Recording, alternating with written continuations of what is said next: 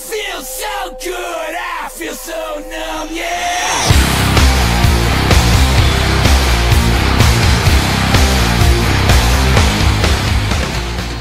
Ja, wir sind hier in Norwegen, am Ockersee, da sind wir in der Nähe von Klepp, und wir haben hier eine 13 Meter hohe Klippe entdeckt.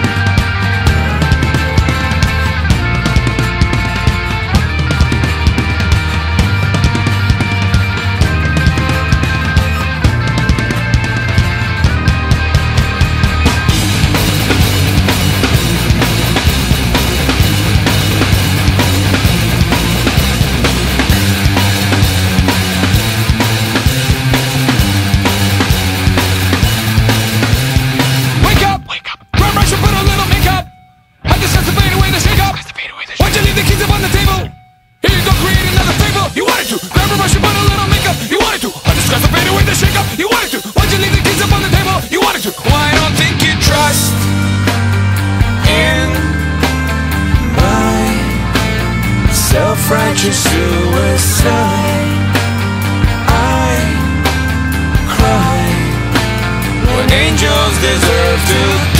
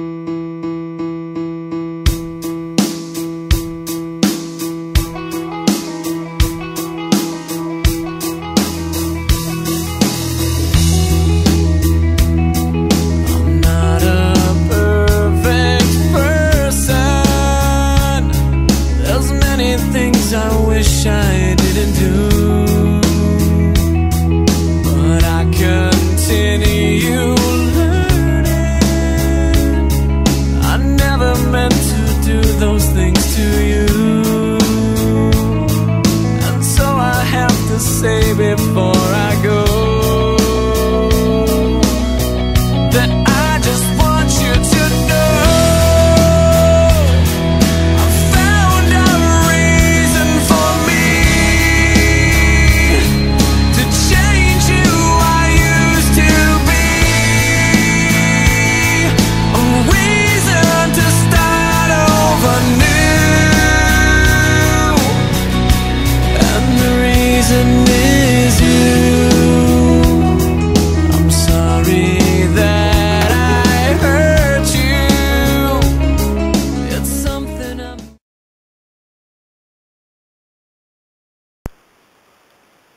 Servus Jungs.